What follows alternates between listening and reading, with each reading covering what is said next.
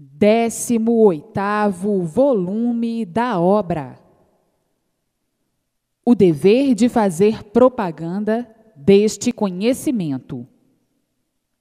O vivente que vive a favor de sua natureza vai sempre para a frente, se favorece em tudo.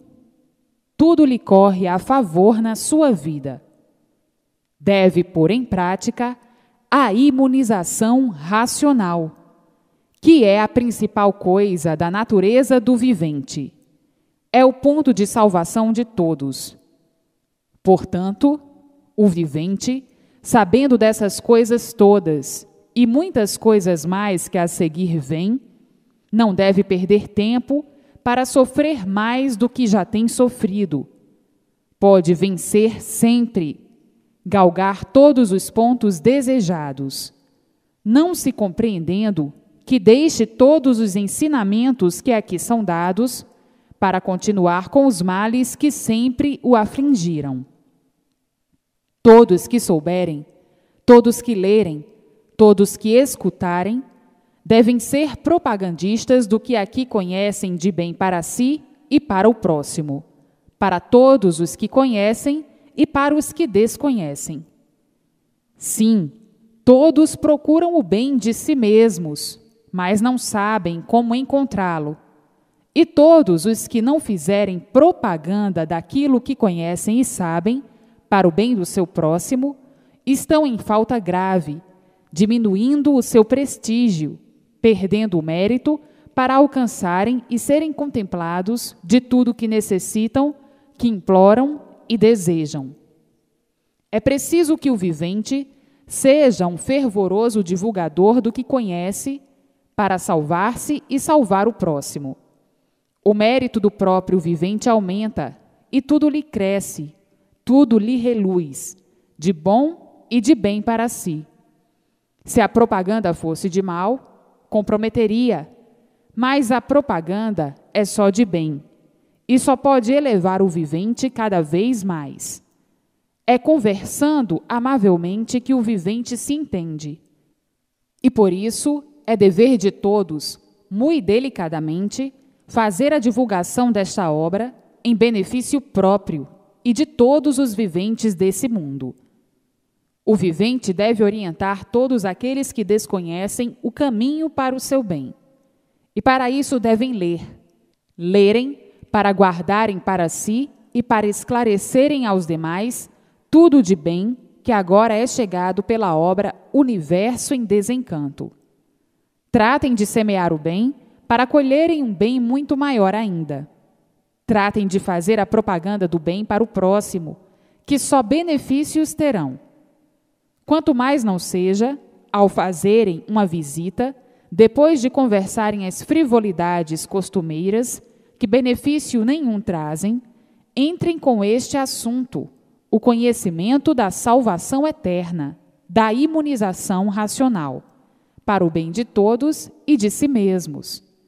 Expliquem as verdades que aqui estão expostas com a máxima delicadeza, conversando com calma, para atrair a atenção e a compreensão do próximo. O bem não é uma coisa para pôr-se em discussão, e sim uma forma de orientação que todos devem conhecer, porque todos o procuram no mundo.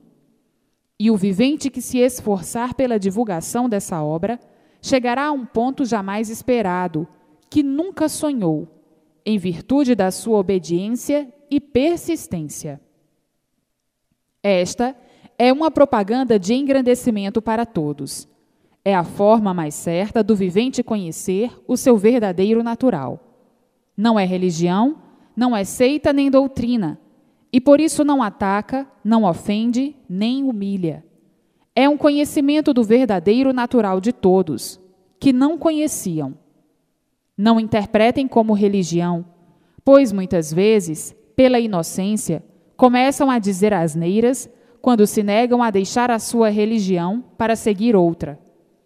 É preciso fazer ver ao próximo que isto não é religião é um conhecimento independente de qualquer doutrina ou seita. Não é espiritismo, e sim um conhecimento que interessa a todos. Então pergunta o vivente: E quem dá este conhecimento? E eu respondo: É o racional superior. E o vivente insiste: E quem é esse racional superior? Eu esclareço: o racional superior é de um mundo muito superior ao vosso. Não é espírito, é um vivente como os daí da terra, diferente apenas porque não é terreno. Espíritos são viventes que habitam o vácuo entre a terra e o sol e que nunca saíram disso, sempre em expiações e experiências.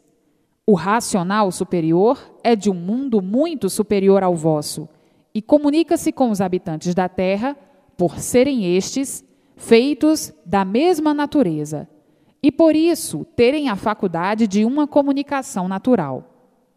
O espírito comunica-se com os habitantes do mundo por meio de irradiações, e os habitantes do mundo racional fazem suas comunicações através da imunização. A irradiação é aí desse mundo elétrico e magnético, e a imunização é do mundo racional que fica muito acima do Sol, com seus habitantes e progresso muito diferente do vosso. A imunização é feita quando o vivente fica coberto pelas linhas gerais da natureza, transmitindo como um porta-voz e saindo tudo a contento, como um rádio que se vê e transmite de um lugar que não enxergam. A continuação desse conhecimento encontra-se no 19 volume e nos demais até o 21 volume.